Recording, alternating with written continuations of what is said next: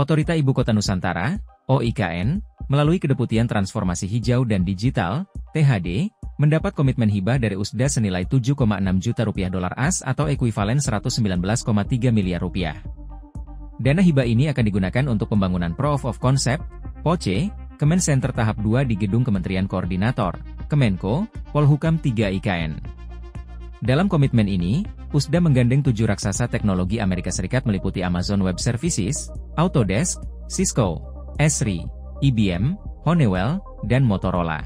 Penandatanganan kerjasama pun dilakukan oleh Deputi Bidang Transformasi Hijau dan Digital Otorita IKN Muhammad Ali Brawi dan CEO Metamind Global Corporation, MMGC, Vishal Curie sebagai perwakilan tujuh perusahaan, Kamis, 31 Oktober 2024. Perjanjian ini merupakan langkah konkret tindak lanjut Grant Agreement antara OIKN, yang ditandatangani oleh PLT. Kepala OIKN Basuki Hadi Mulyono dan USDA, yang diwakili oleh Duta Besar Amerika Serikat untuk Indonesia, Kamala Shirin Lakdir, pada 20 September 2024. Deputi Bidang Transformasi Hijau dan Digital OIKN Muhammad Ali Brawi menjelaskan, dalam proyek POCE ini, setiap perusahaan tersebut memiliki peran strategis untuk memperkuat fondasi Kemen Center tahap 2 baik dari sisi hardware dan software.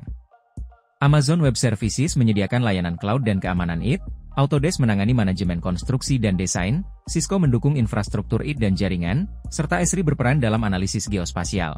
Di samping itu, IBM fokus pada manajemen aset dan lingkungan, Honeywell menangani sistem pengawasan dan keamanan, sementara Motorola menyediakan teknologi komunikasi dan jaringan yang andal.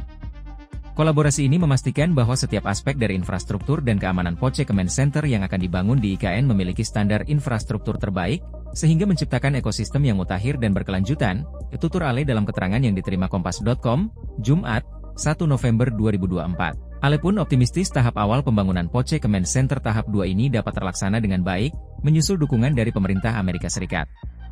Kami berharap, teknologi ini akan menjadi pusat percontohan teknologi Smart City yang berpotensi besar dalam mendukung pengembangan teknologi di Nusantara untuk masa depan.